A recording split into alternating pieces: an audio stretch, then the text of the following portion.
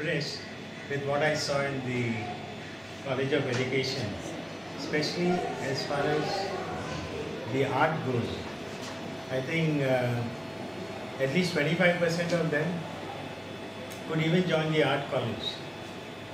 They could even take a break maybe after a year and and uh, credit goes to both the art teachers Sagar and Raymond for the you know bringing out the talent in them and that is uh, that is the role of a teacher actually and they've done a fantastic job in just getting this talent out inside from them and what we have seen on the what we have what I have seen on the board is amazing Ray and Raymond Pereira, I think have really brought out the best in our students. They made them love art and create something on their own.